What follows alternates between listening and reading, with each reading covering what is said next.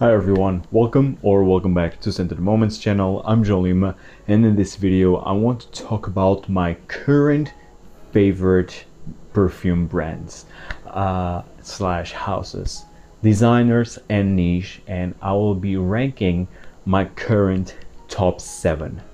Uh, now, I while I'll, I will be talking about these fragrance houses, I will also mention some of my favorite uh, perfumes and and I will talk about them in a specific order. So, with that being said, let's talk about these fantastic fragrance houses, uh, fragrance brands. Now, in the number seven spot is a fragrance house uh, called Ramon Monegal, based in Barcelona, Spain. Um, this house is very underrated. So Ramon Monegal is the parfumeur. He is a maître parfumeur, and he has amazing fragrances. And it's again very underrated uh, maybe because of distribution uh, issues but not a lot of people talk about uh, this house. Uh, my one of my absolute favorite fragrances from Ramon Monegal is Soul of Oud which is also my favorite oud fragrance. It's from the collection Don't Touch My Oud I have two more, Alhambra Oud and Ocean Oud. There's another one that I would love to have, which is Oud on Fire, a very smoky, barbecue-ish oud. Uh, this is a pure, natural, sweet oud. Absolutely love it. Um, and Ramon Monegal fragrances are very unique. so good. They are very unique. They are not overpriced in my opinion. Uh, they go from their normal they from their um, normal range. Um, it's I mean the prices go between 160 to 180 uh, retail for 50 ml and then you have the 100 ml which is of course will be more expensive but actually 50 ml it's all you need for example another fragrance that I absolutely love from this house is Mon Patchouli one of the most unique patchouli fragrances that I have. This is a green patchouli with salty aquatic natures and a fruity tone. It's patchouli for summer and fall. This is actually a very nice end of summer type of scent. I love it. Absolutely love this fragrance. Um, then you have another one which I already did the review. I think Mon Patchouli I also did a review of. And this one also, I mean, fantastic. It's Faisa. Faisa is so complex, so powerful and rich and sweet. Oh, it's so good and so sexy. Uh, Faisa has oud, it has raspberry, rose, jasmine, uh, osmanthus, heavy dose of osmanthus with mimosa. Absolutely stunning scent. Uh, but this fragrance is not for the faint of heart because it's very powerful. It's one of my most long lasting fragrances. And because of the sweet undertones, it's, it's quite sweet, um, but I absolutely love it. Faisa is another scent that Ramon Monegal has that I absolutely love. And then one of his latest creations, Atractone Musk, which actually was featured on my fall video. Um, this is a true deer musk without having deer musk, at least to my nose. This is absolutely stunning. Um, it's it has a natural feeling to it, and it's very carnal, animalic. Um, I love it. I absolutely love this fragrance. Just number seven, I mean, because seriously, the other fragrances, fragrance brands that I have here, I mean, are a bit, um, are really a bit higher in terms of quality and some, not just in terms of quality, but in terms of history itself. Uh, so, I mean, it's why it's number seven, but honestly, it's a fragrance house that I highly advise you to check out. No, this was number seven. Number six might be a shock for you, but right now my sixth favorite brand is Hermes. Yes, Hermes just number six, quite harsh, but but it's not. it's not just because Hermes it's still a fantastic brand and it's still in my top six. I have a lot of fragrances with a lot of fragrance brand here, and Hermes being number six spot is not bad at all. I love Hermes. Last year was the year of Hermes for me, where I really discovered the Hermes fragrances, all of their collections. So, and I will just mention three uh, fragrances that I have from them, but I have so many more fragrances from Hermes. Um, I will mention just these three. This is Cuir d'Ange which is currently my favorite leather, actually. Uh, and it's for now the only Hermessence collect uh, fragrance that I have. I hope to add Ambre Narguilé soon because I've been dying to have that fragrance for a while now. Uh, this is really probably my favorite Hermes is Bel Ami Vetiver, a true modern Chypre with leather and bit of spicy vetiver that it's just done to perfection. And also one of my favorite uh, eau de cologne style scents, and it's part from the cologne range of Hermes, which is Eau Citron Noir. Uh, and it's also a, a purchase of mine, a quite recent purchase of mine. Then they have the Un Jardin line, which I absolutely love, a very unique line. I have just two. Un Jardin sur le Nil and En Méditerranée, which was my first fragrance from um, Hermes from that line. Uh, so I have quite a few. Then you have Terre d'Hermes, of course. Even H24, it's quite nice. Um, the original Eau de Toilette. Um, but well, that will be for another video. So as you see, I have tons of, and then you have the Eau des Merveilles line, which is probably the most underrated designer line ever. Um, and I have like four or five fragrances from the Eau des Merveilles. So you see, like I love Hermes. I really do love. But when I will compare Hermes with other brands that I have here, I mean, I slightly prefer the other brands a bit more, but it's just because of my taste, just because I love more heavy, uh, powerful resinous fragrances. Um, so that's why I mean Hermes is just number six. One, it's personal taste. Any other, I mean, it's just as it stands. Who knows? Maybe when I will um, do an update video on my favorite brands, Hermes will be number one. I mean, everything can change really, and still, again, I love Hermes for his history, for its unique uh, fragrances. Um, really, it's a fragrance brand that everyone should uh, try at least. It's not just Hermes, it's not just H24, it's really the whole range.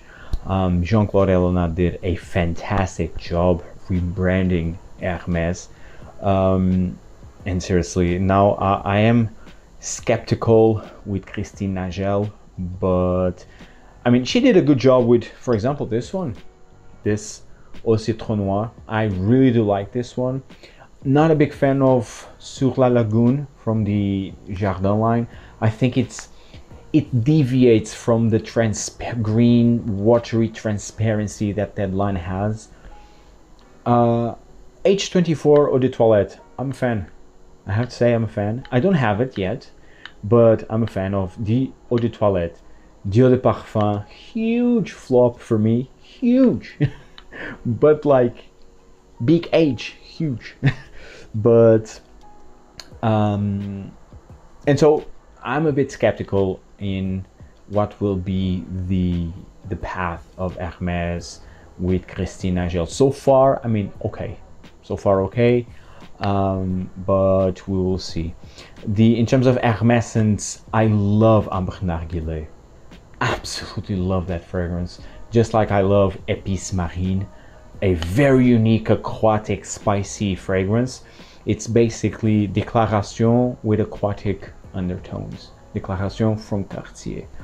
Um, so I'm a big fan of those. The, these three, I mean, the Cuir d'Ange, Ambre Narguilé, and Épice Marine, two fragrances that I have yet to add to my collection. I mean, are my top three favorite uh, uh, fragrances. And then you have, of course, Paprika Brasil, which is also nice. Um, and you have a few others that now I don't, I'm not remembering their names, but you have a few others that are, are also quite nice. But these three are my top three from Hermessence. Um, so yeah, a massive fan, big fan of Hermes. Just number six because well, the other fragrances are more aligned with my taste. So this was number six. Number five is uh, what I have here from number five. Ah, yes, it's another brand that it's very underrated. It's very underrated and again, maybe because of distribution, maybe uh, because it's not very readily available out there, especially in the online discounters. Definitely, it's not uh, that I'm aware of, at least. But it's it's a brand uh, from uh, France, and it's Rania J. Rania J number five, and again, this could easily be top three, but Rania J number five, it's still solid. And it's above Hermes, and this is just personal taste. Just because Rania J has this full, daring, bold uh, fragrances, very rich fragrances, natural smelling qualities that I just love. And the price tag, it's not that expensive. I mean, for 50 ml, retail price is 100 and I did 25 or 35 euros so I mean, quite, quite decent, especially for the uniqueness, quality. I will show you the entire collection. And Rania J, it's another thing. Rania doesn't release fragrances every year. Um, it's just from time to time, it's when she's releasing uh, a perfume. And that for me is a sign of quality. Um, and so I have here five fragrances. Five fragrances. Uh, J has, I think it's either seven or eight fragrances in total and i think she already eh, this brand i think i think she created her brand like for for a while now almost a decade if i'm not mistaken if not even more. Um, and so she has seven eight max perfumes that i am aware of um, but i think it's seven. Because it's these five then you have jasmine uh, jasmine something she has a fantastic jasmine jasmine centric uh, perfume. Amazing. Very indolic animalic. It's amazing. Very underrated actually. Then she has another uh, one musk which out of all of them it's my least favorite. It's it for me it was a flop because it doesn't smell like proper musk. It's i think it's the most commercial fragrance from Rania J. It's her musk scent. Um, and I think that's about it. So yeah, seven. If I'm not mistaken, if I'm not mistaken, she has just seven fragrances. Um, and so the fragrances that I have is T. Habanero, and I'm sorry if it's a bit dirty. T. Habanero, it's just wow. This tobacco, it's breathtakingly amazing. So this is animalic woodsy with this natural smelling tobacco leaves. Oh, wow. Amazing, amazing fragrance here. Then you have Cuir Andalou, which is, if you're a fan of Fahrenheit, you'll love this one. This is a true gasoline petrol uh, black leather. Oh.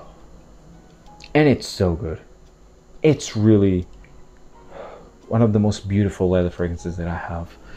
Um, then you have, of course, Ambre Loup, probably the most well-known scent from Rania J.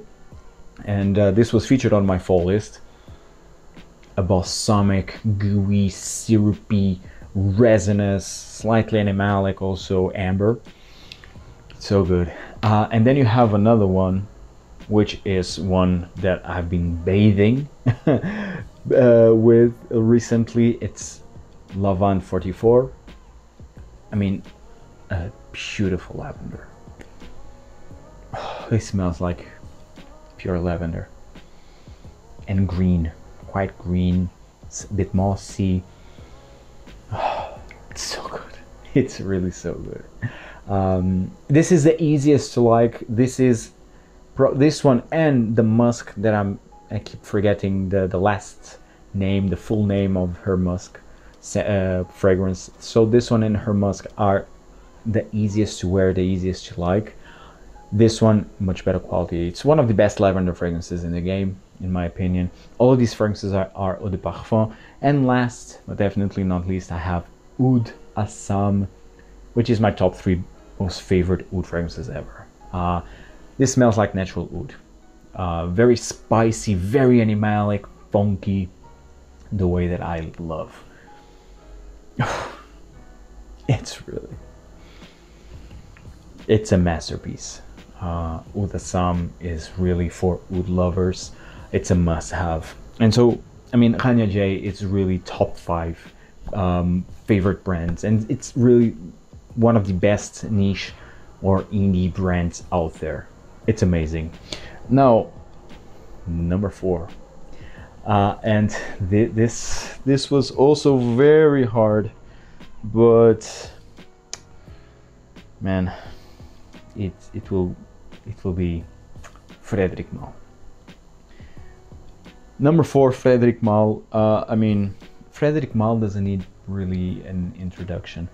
Uh, it's it's one of the best niche brands out there nowadays. Um, I have in total eight or nine uh, or seven. Oh my god, no, I don't know exactly how many fragrances I have from Frederic Malle, but it's around seven, eight uh, fragrances from Frederic Malle. And I'm a big fan of this house. Now, I don't love every single Frederic Malle.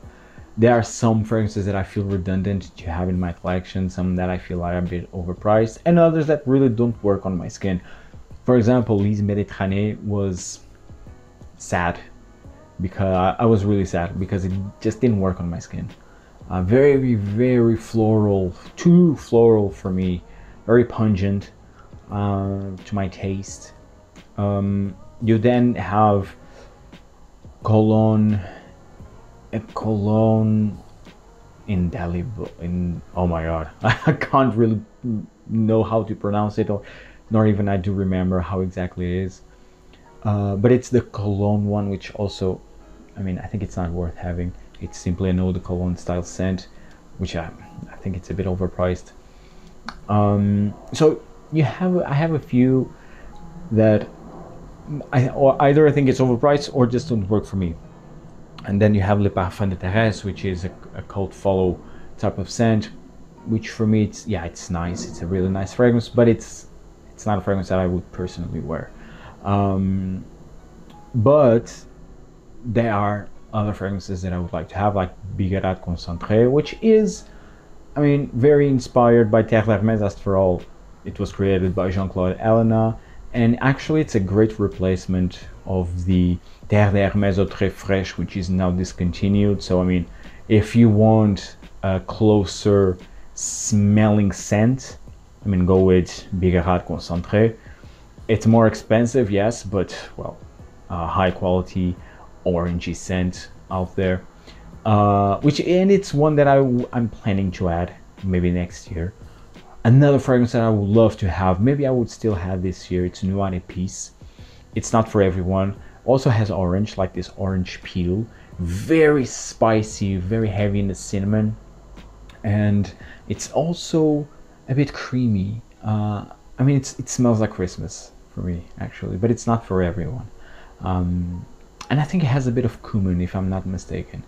Uh, so it's it's it's a very unique scent. Let's put it like that. Very unique fragrance that I think it works, but not for everyone. Uh, and and then there's fragrances that I absolutely love, and that's why I have them. Promise, Promise is fantastic, and actually the the the Desert Gems of Frederic Malle is something out of this world.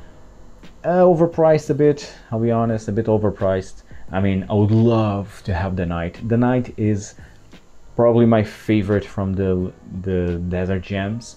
I mean, the moon is nice, but it's very fruity, sweet. I mean, you have a lot of fragrances like that in the market. Dawn is also okay, um, but the night is the night is the perfume of uh, the desert gems, which is this very animalic, funky, bold oud, full oud. I love it. It's it's really fantastic. It's a fantastic oud, but it's overpriced. I mean, the 100 ml is over a thousand euros. I mean, insane. And then you have Promise, which is the most affordable of the this Desert Gems collection, which is in the 290 euros for a 100 ml, if I'm not mistaken. Promise, I love Promise. Also, it's my second favorite actually from this collection, and it has this beautiful green apple, and it's very heavy in the Nagarmotha.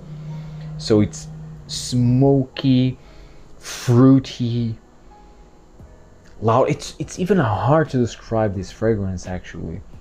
Um, smoky, fruity at the same time, loud, very loud, very woodsy, a bit animalic actually and it's fantastic. I mean, this fragrance is wonderful. I love Promise, but it's not for the faint of heart.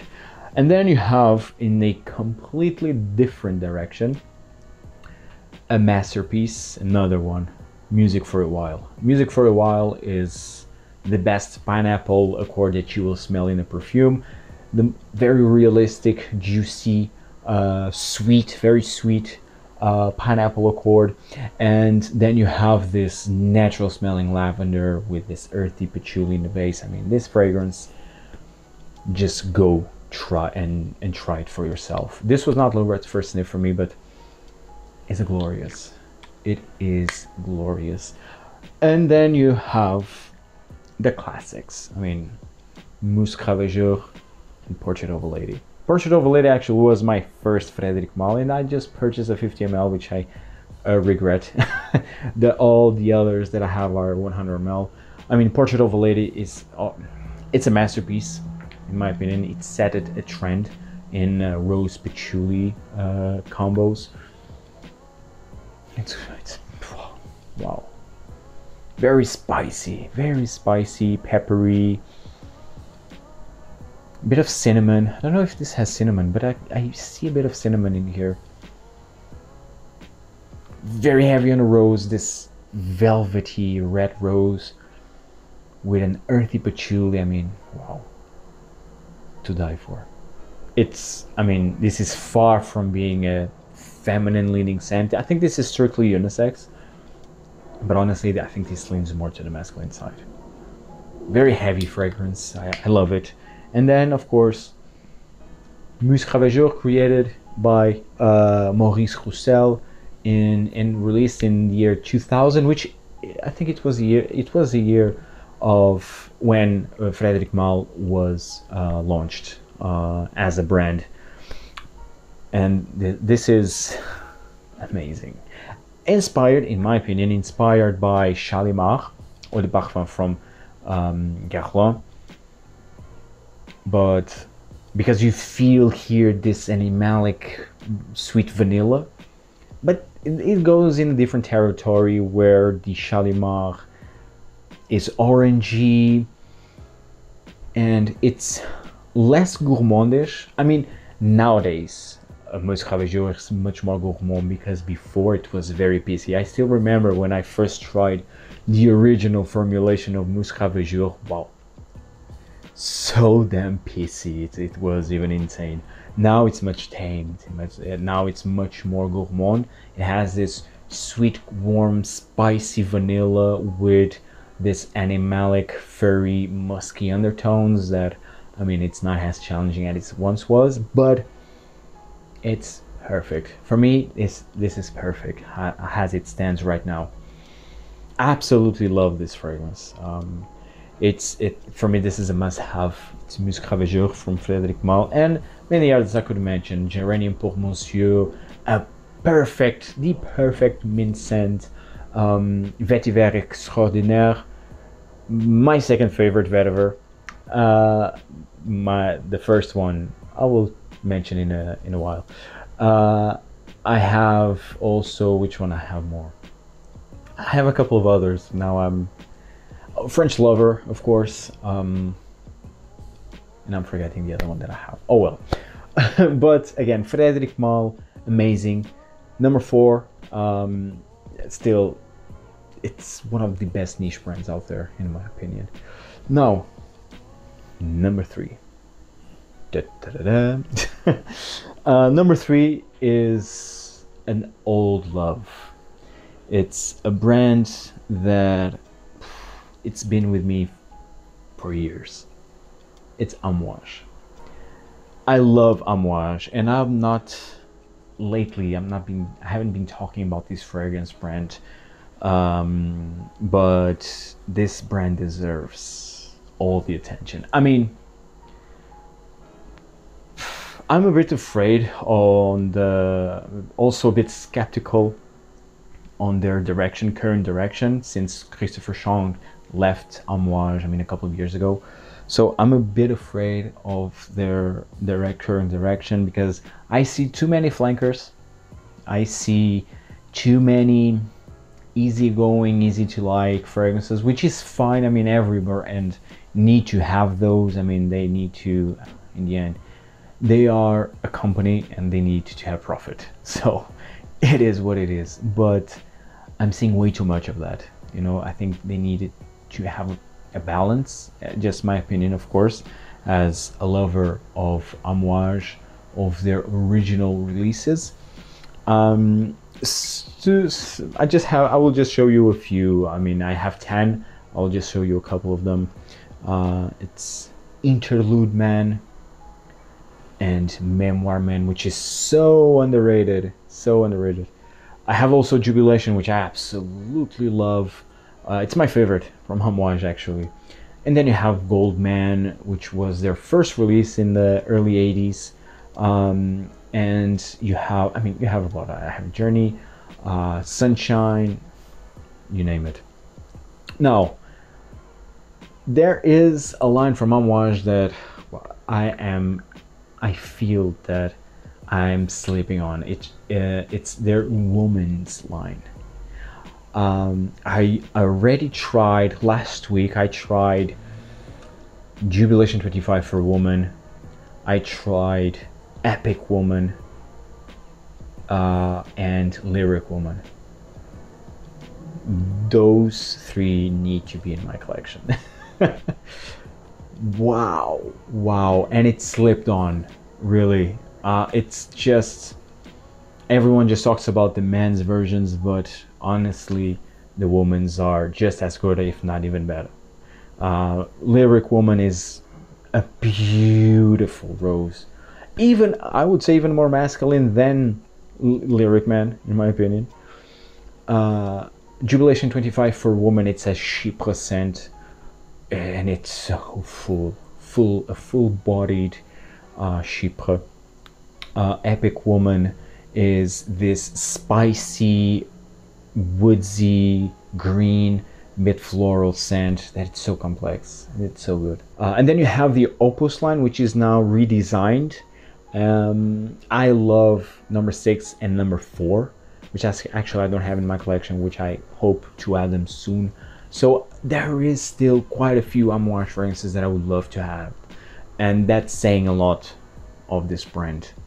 Um, so yeah amouage number three i mean really because they they just resonate with me. The their sentiene, uh, for now, just I identify myself with their uniqueness, with their heavy, incensey woods, which lately in a couple of years, in this last couple of years, I'm not being the biggest fan of Amouage because I, they tend to be more commercial and I, again, I see a lot of flankers, but well, I still will give them the benefit of the doubt, and they are still in my top three favorite brands. Now, favorite brand number two. it's none other than Chanel.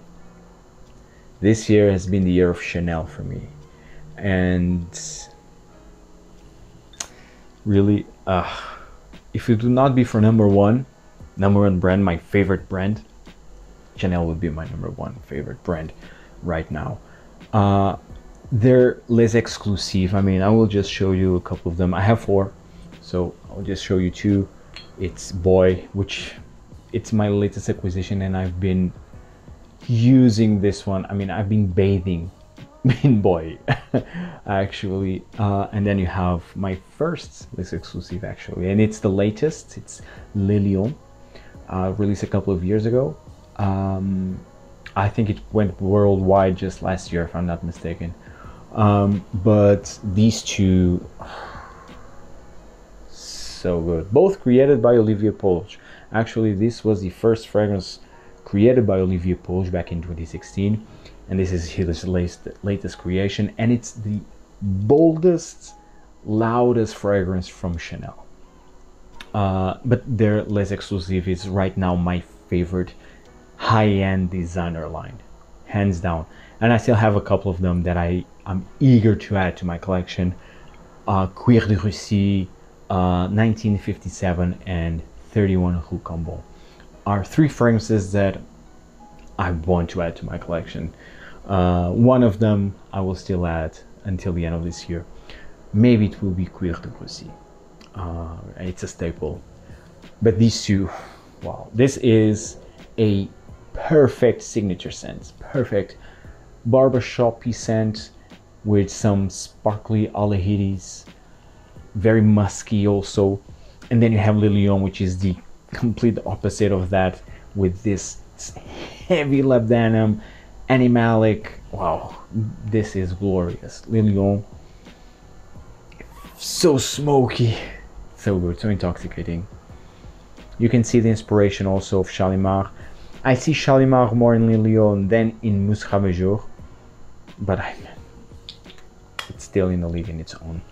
And then you have, I mean, this is my favorite green scent. Chanel number 19, Eau de Parfum. I have the also the Eau de Toilette and the Poudre version. Um, and then you have my favorite mainstream masculine scent, Egoist Masterpiece. This spicy, dry floral scent and you have this classic Pour Monsieur Eau de Toilette, which I actually I purchased this one this year in uh, early summer. It's glorious. It's amazing. It's a simple scent. It's a fresh Chypre fragrance, but it's done to perfection, released in the early 50s. And then you have the other fragrances I, I, I really love. So you have this one, number five L'Eau it's already one of my all-time favorite fragrances from Chanel. The the elegance, the elegant perfume for summer. And then, I mean, the best blue scent. Chanel was the the brand that set the blue trend.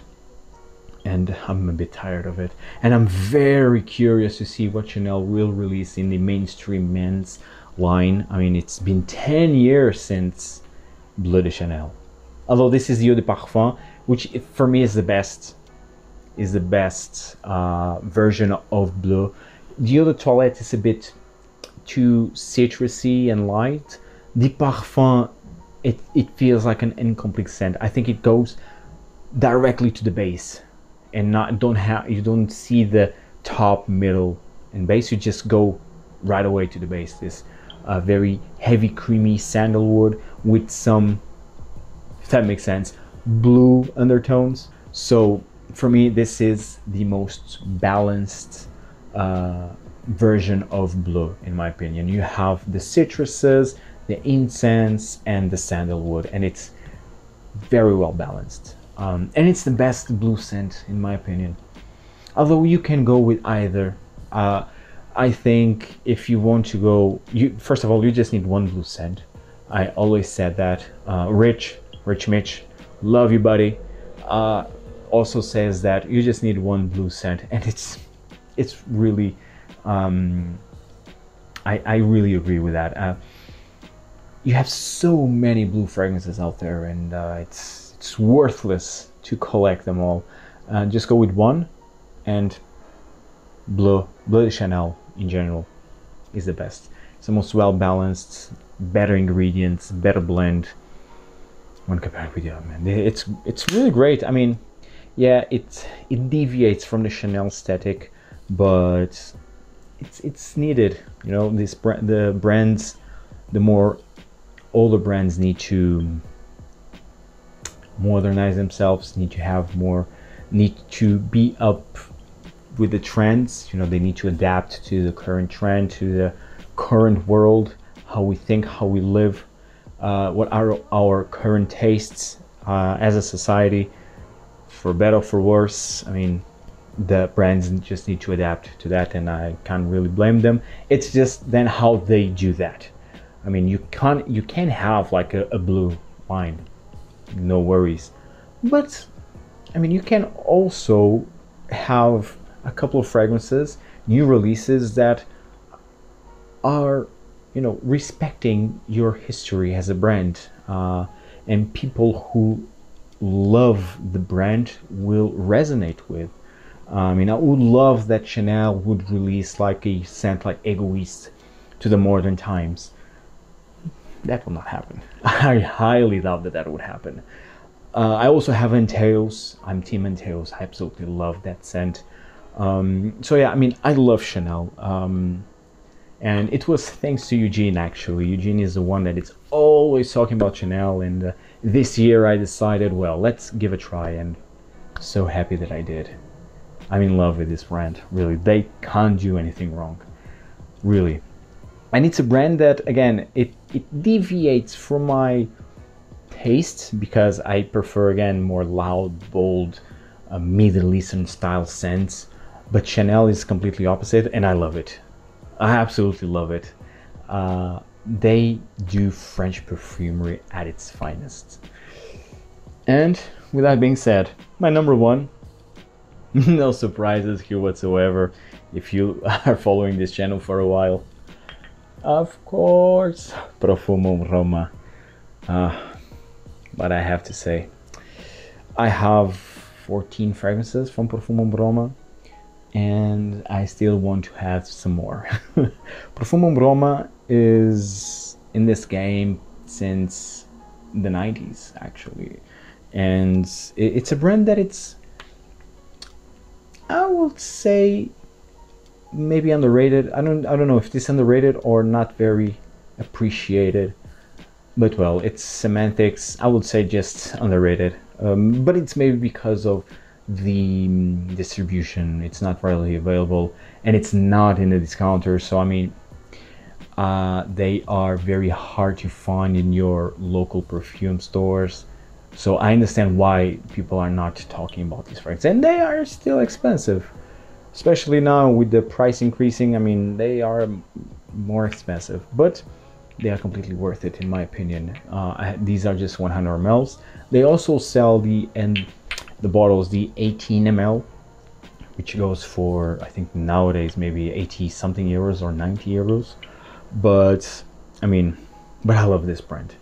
I have Ambra Aurea Patchouli, I mean, I think probably their best. They're their two best fragrances, uh, but it's hard to say that.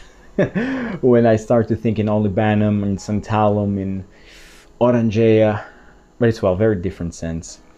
But I love it. This is my favorite amber. This is my favorite patchouli.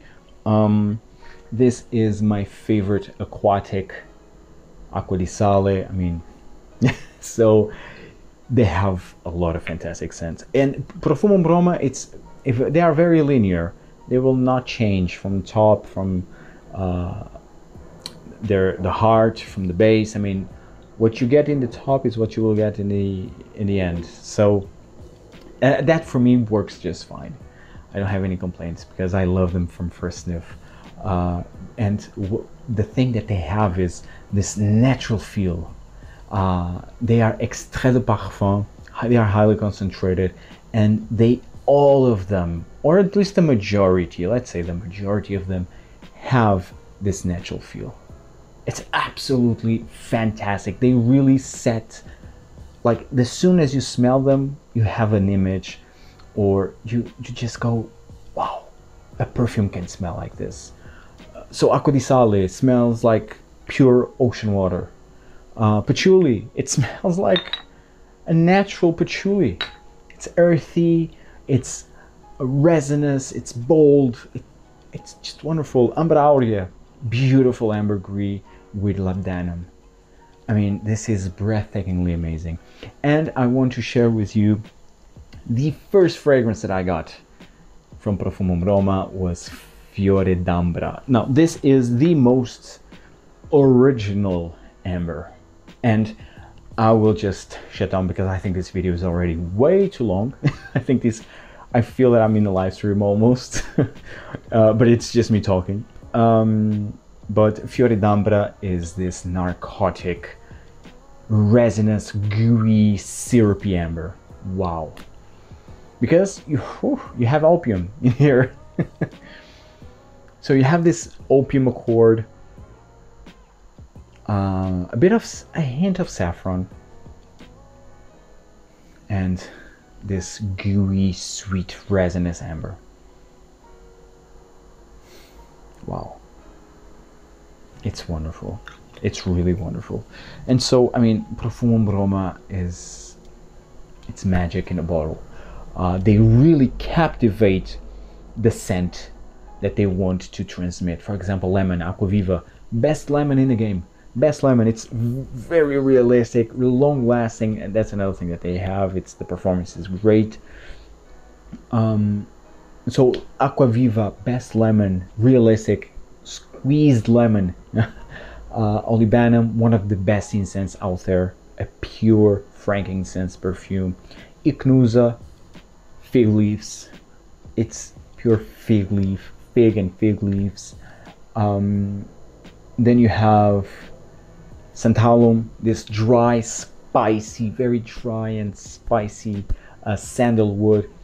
Um, I mean, and others. Then I have the Notte de Profumo with Amante and uh, oh, now I'm forgetting the name, which is this cedarwood, a powdery cedarwood. It's very unique scent. Um, so yeah, I mean, I love Profumum Roma. They because they really captivate a specific scent, and they perfected it. It's wonderful. It's a wonderful brand. Um, and so yeah, th these are my current seven favorite perfume brands. Um, I have two honorable mentions uh, before finishing this video. Guerlain and Tom Ford. Why honorable mentions? Although I have quite a few Tom Fords, I also have a lot of Guerlain. Why? And also Xerjoff. I will include Xerjoff in my honorable mention because I have also dozens of uh. Why I'm just including them as an honorable, honorable mention Guerlain, Tom Ford, and Xerjoff, all from for the same reason. I'm not being impressed by these brands lately. Their latest releases in this last two, three years, Guerlain three, four, Tom Ford the same. Although Ebene Fumé is not that bad.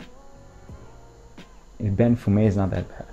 Uh, but really, Tom Ford, Guerlain in the last three, four years, I haven't seen them, really. Uh, Xerjoff, maybe in the last three years, two to three years. I mean, plus I've not been in the in the Xerjoff mode for a while, although they have fantastic scents. I, I love Xerjoff uh, actually, but uh, lately I've not been impressed by their latest releases, nor I've been in the mode to wear Xerjoff for some reason. I mean, don't ask me why but but well these the, this is basically the reason why i'm just including them. These brands as honorable mention because while they have fantastic some of the best perfumes ever done in their portfolio. But and, and it, they, they are still brands that i suggest you to try them if you have yet to. Because again i mean the the heritage of guerlain the uh, private blend of tom ford and even the signature line is amazing Xerjoff also has fantastic scents from the Shooting Stars for the Oud collection. I mean, might be overpriced. Yes, no. I mean, yeah, I understand that topic, but I still think that Xerjoff has fantastic scents. Um, so in the end, all of these three brands are great, but they kind of fell off my favorite of being my favorite brands. Um, so yeah, this is all I get I have for you today. Tell me in the comments down below what are your favorite perfume brands, designer and niche. Tell me also what are some of your favorite fragrances from those brands. And I'm sorry guys if this was already a too long video, but well, I love to talk about perfume and if you are here still listening, thank you so much. Thank you. Uh, guys, see you in the next video.